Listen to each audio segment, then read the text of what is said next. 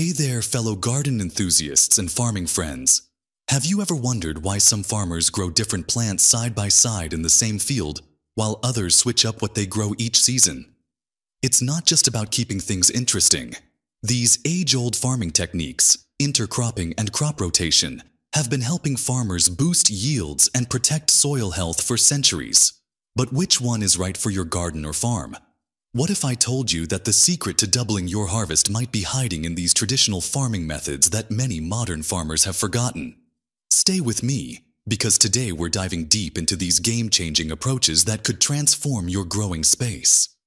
We've split this guide into four parts to make it easy for you.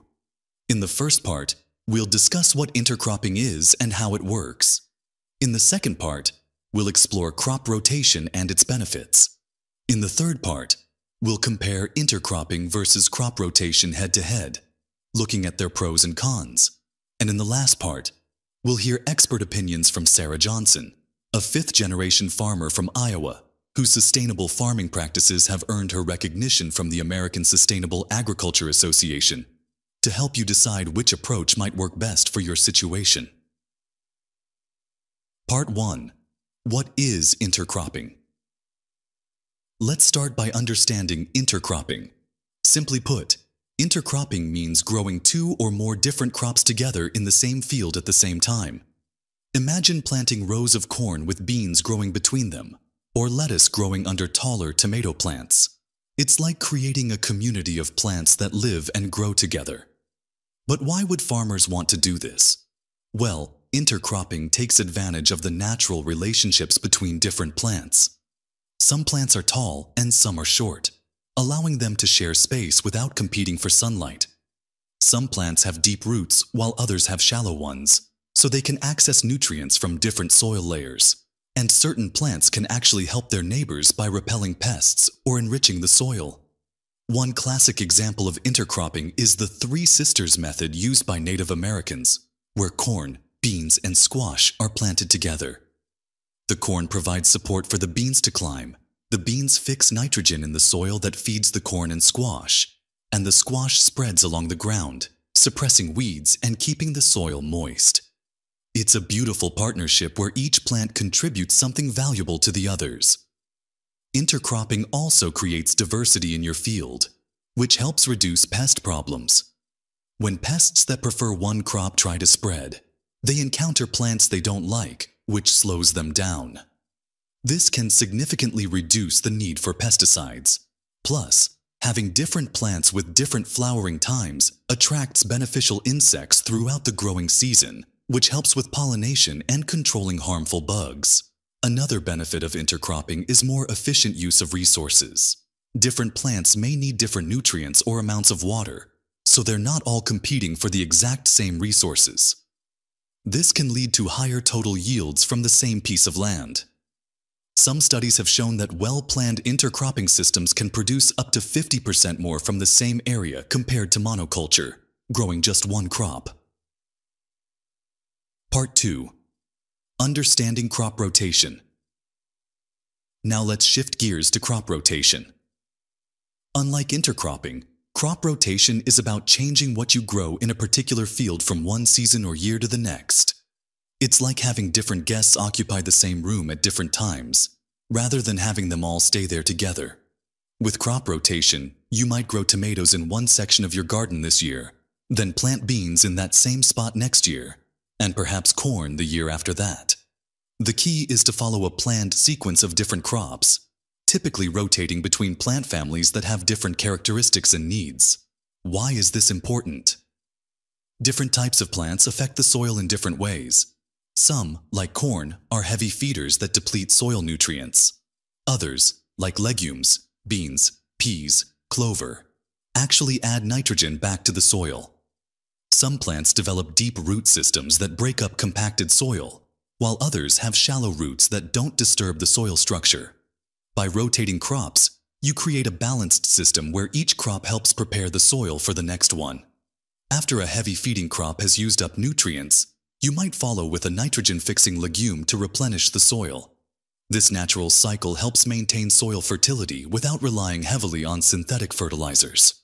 Crop rotation also helps break pest and disease cycles. Many pests and pathogens are specific to certain plant families. If you grow the same crop in the same spot year after year, these problems tend to build up in the soil. But when you rotate to a different crop family, those pests find themselves without a suitable host and their populations decline. This is a simple but effective way to manage many garden and farm problems naturally. Additionally, different crops can help manage weed problems. Some plants naturally suppress weeds through shade or chemical compounds they release. By including these in your rotation, you can reduce weed pressure for future crops.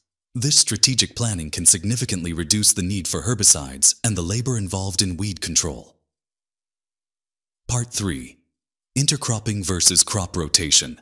Head-to-head -head comparison. Now that we understand both techniques, let's compare them directly. First, it's important to note that intercropping and crop rotation aren't mutually exclusive.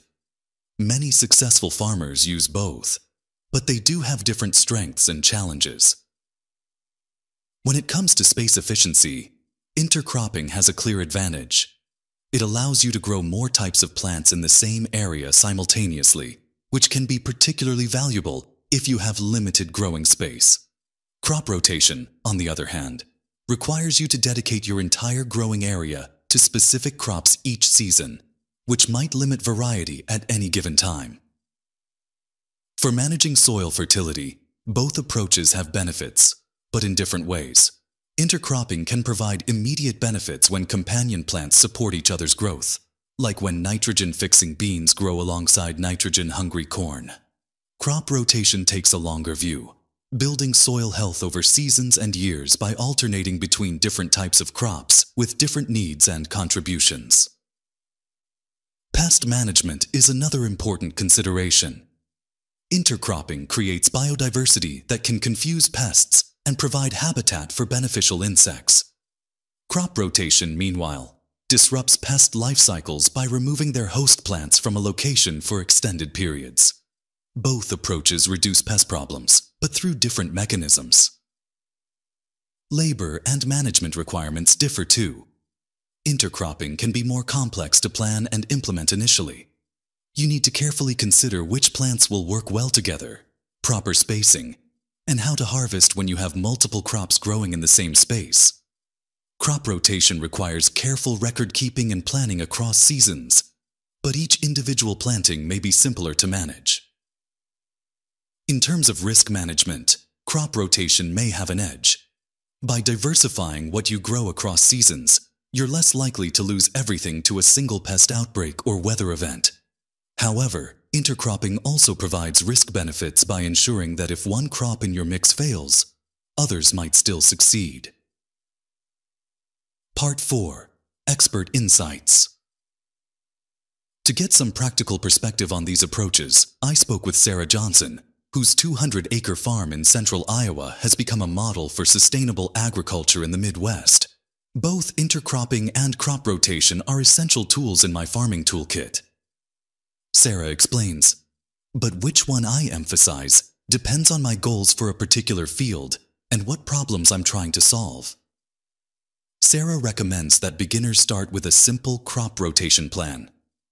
Rotation is generally easier to implement when you're just starting out.